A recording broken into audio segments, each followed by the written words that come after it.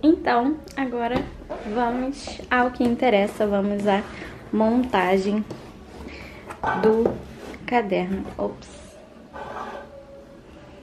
Pronto. Então, eu comprei esse papelzinho aqui, que é um refil do Inteligine. Você vê que ele é menorzinho e ele é branco. Ó. Ele é todo branco, não tem linhas. Comprei também essas fichinhas coloridas. Ó.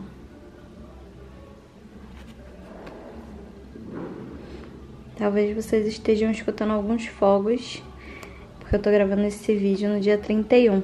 E talvez um pagodinho também, mas enfim. Prestem atenção aqui, essas fichas são uma gracinha.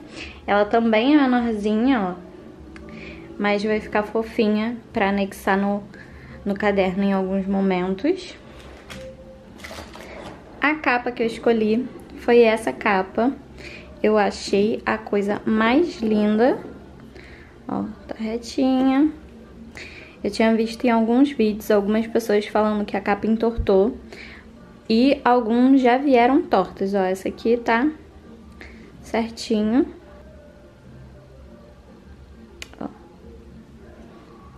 Eu achei a coisa mais linda essa capa.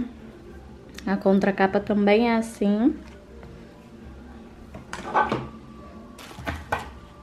Vem com essas duas páginas, que é explicando sobre o caderno inteligente e uma página de dados pessoais. Aqui vem todos os refis que você pode encontrar, todos os acessórios. Comprei também essas bolsinhas plásticas é bem grossinho o plástico, eu tava um pouquinho preocupada, confesso, com a qualidade do plástico, porque nessa sacolinha aqui vem cinco bolsinhas plásticas, então achei que era um plástico bem fininho, mas não, achei bem grossinho.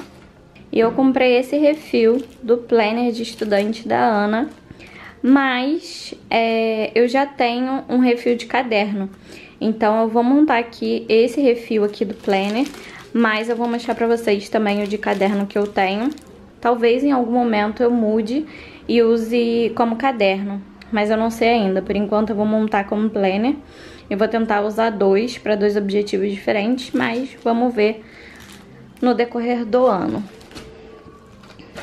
Comprei esses discos. Comprei esse transparente porque tava na promoção. Ele vem com esse elástico branco. E aí eu comprei o tamanho G para caber as folhas do planner todas. E esse aqui não é da, do caderno inteligente, esse aqui é da Ótima, é um caderno que eu tenho. Então eu separei aqui porque eu vou colocar essa cartelinha com essa reguinha lá, porque isso aqui é muito útil e eu quero ter isso aqui pertinho. E aí veio também um álcool em gel, desse pequenininho aqui, bem fofinho. E cartãozinho deles. Então, vamos montar.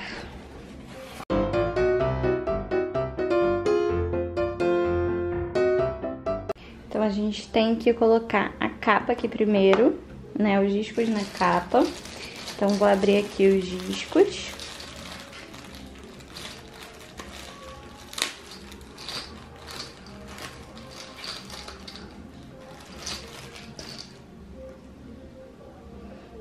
Então, é só pressionar. Minha primeira vez, gente, fazendo isso. Ah, assim. Vou colocar em todos. Depois eu encaixo na contra-capa.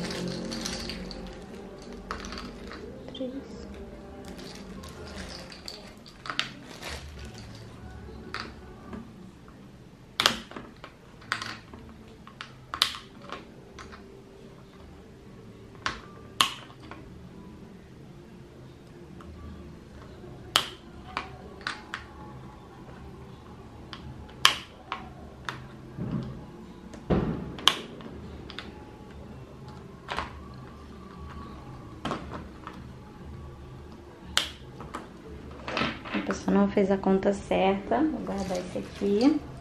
E o elástico, eu não vou colocar o elástico por enquanto. Porque eu vi algumas pessoas falando que é, acham que é o elástico que tá entortando as capas, então eu vou ficar sem usar por enquanto e vou ver depois se eu coloco ou não, se eu arrisco ou não. Bem tranquilo, ó, de montar. Já estão todas as minhas argolinhas aqui, os meus discos, tudo direitinho. E agora vou abrir o planner.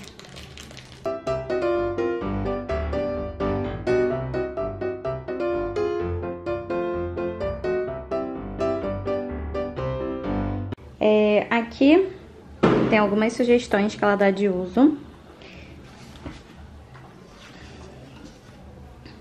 E esse planner vem com essas divisórias muito lindas, olha. Tem a rosinha, a amarela, azul, roxa.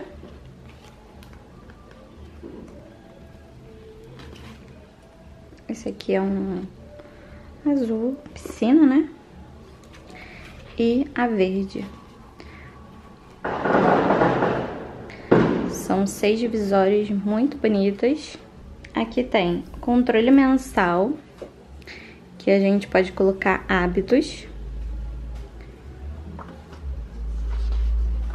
Aqui do outro lado tem a semana aberta.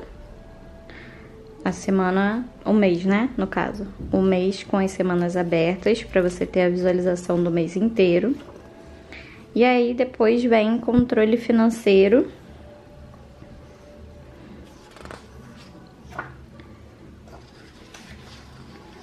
Acho que veio separado. Eu tenho que separar. Ó, eu vou pegar aqui pra vocês verem. A semana, ela é assim, ó. Pontilhada. Bem grandona. Aqui ainda tem um espaço extra. Então, eu vou separar aqui e já já eu volto. A few moments later. Então, já tudo separadinho aqui. Então, o que é que eu separei? Um controle men mensal de hábitos. Virando, a gente tem a visão mensal aberta. Depois vem o controle financeiro. O controle semanal de rendimento, de coisas a fazer e de prioridades para o mês. E depois vem as semanas. Elas são bem grandes, como eu falei, pontilhadinhas. E vem mais esse espaço extra aqui. Então, agora já separei tudo, vou começar a colocar. Dizem que quando o seu caderno inteligente, assim, ele tá vazio, o ideal é você ir colocando bem de pouquinho em pouquinho. Então, vou colocar aqui poucas folhas. Acho que até tô botando bastante. Vou colocar menos. E aí tem meses que eles vêm com cinco semanas, né? Por conta dos meses de cinco semanas. Como eu não vou olhar agora, eu vou colocar cinco em qualquer um. E aí, depois, conforme eu for usando, eu vou ajustando. E eu vou colocar a divisória. Uma divisória aqui na frente.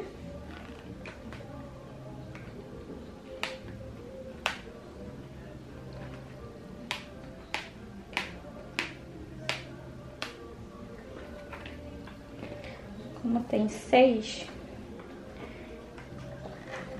eu vou colocar uma a cada dois meses.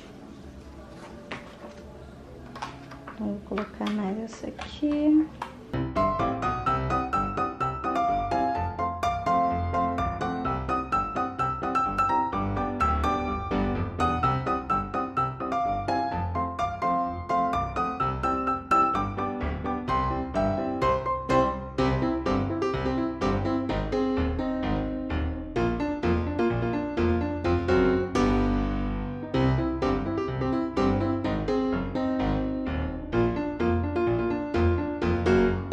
Essas divisórias, elas são de um plásticozinho, ó, bem resistente, bem durinho. E aí, como vocês podem ver, ele não é datado, então você pode começar em qualquer mês. Você pode pular mês, enfim, você pode fazer o que você quiser. Começar quando você quiser, né? Porque ele não vem data. Então você coloca, né?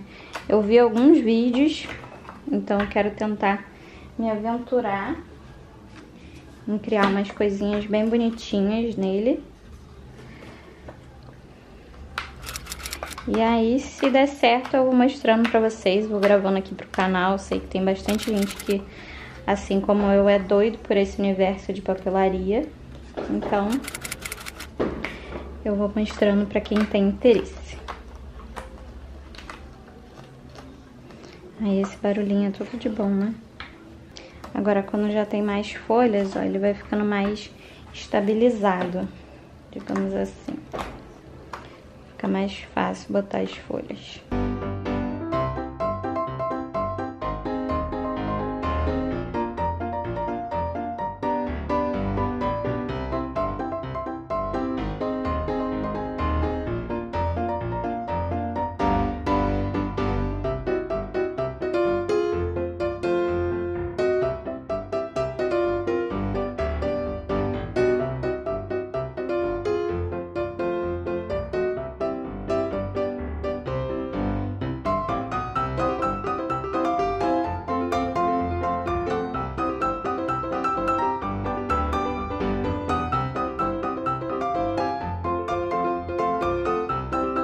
Plannerzinho montado, como vocês podem ver, ó, ficou bem cheinho.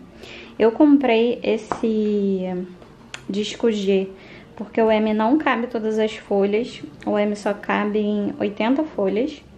Então esse aqui me dava a possibilidade de colocar tudo, mas eu achei que mesmo assim ele ficou bem, bem grossão, ó, bem pesado. Ó. Tá vendo?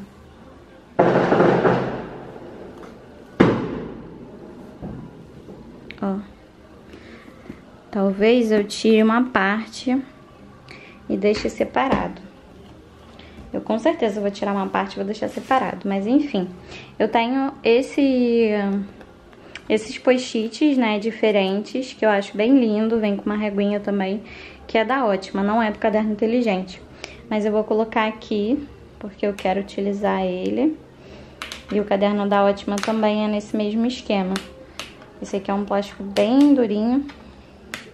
Então tem que fazer um pouquinho mais de força. Mas eu vou deixar aqui. Eu nem vou colocar esse plástico aqui. E nem nada disso aqui, ó. Então esse aqui eu vou tirar. Porque ele tá forçando aqui, ó. Mesmo assim, a... Estão vendo? Ela tá ficando meio abertinha. Ó. Talvez tenha que ajustar aqui, mas parece que vai ficar meio abertinho mesmo. E aí, eu comprei isso aqui e essas fichas para o caso de fazer anotações extras. Então, por exemplo, no controle mensal, deixa eu abrir aqui para mostrar qual é a minha ideia. Por exemplo, se eu quiser fazer alguma anotação aqui, eu posso adicionar uma fichinha. Bem cheinho, fica bem ruim de adicionar coisa nova.